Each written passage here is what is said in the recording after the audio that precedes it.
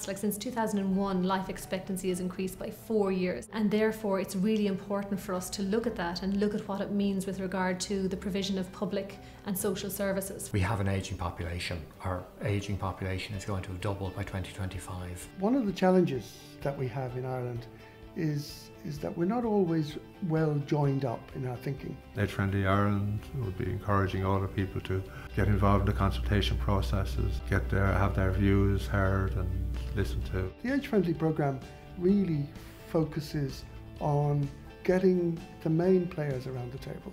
The chief executive of the local authority, or that's the most senior person of the HSE, the Garda Síochána, along with Age Friendly's own staff to become catalysts for that conversation that puts the needs of the older person at the centre. Age Friendly Ireland is effectively driving the collaboration and also driving the information flows, ensuring those things are happening in the right places at the right time and making sure that it, it's a, an effort that is actually countrywide and the age friendly programme provides an infrastructure for all of these people to come together with that common vision. The age friendly programme, in lots of ways, tries to influence central government and policy by using what they've heard at the grassroots level.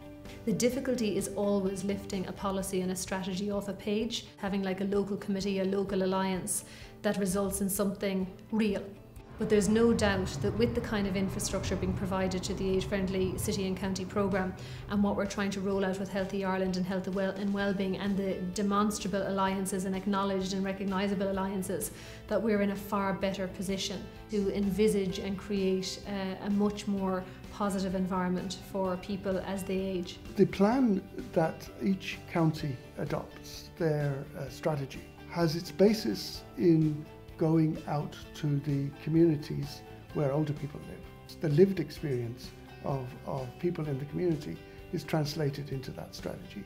It becomes much more accountable and health can very much come to the table and play its part. And what we've been doing over the last two years is really dialing up our contribution and saying, actually, here are the services that we're offering. These, this is how services need to change into the future. And at the very local level, through the local structures and through the alliance, looking to see how our local health partners can play more of a contribution, whether that's the opening time of clinics, whether it's a different kind of service, whether it's a reach out service, and in the longer term, looking at how we can provide and change services that are not so so hospital centric that are looking at supporting people to live at home as they age. Planners are now looking at building homes for life. That's a big change. The age friendly team working with Chambers Ireland have developed is a toolkit to help businesses adapt. The feedback from companies that have taken the toolkit and implemented it is very, very good. What we're beginning to hear from the older people's councils is that we want a, a central voice now. Uh, will enable us to influence national policy.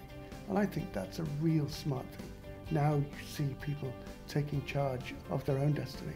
I believe that we need to facilitate that and not be afraid of that. I don't believe these changes would have happened without Age Friendly Ireland.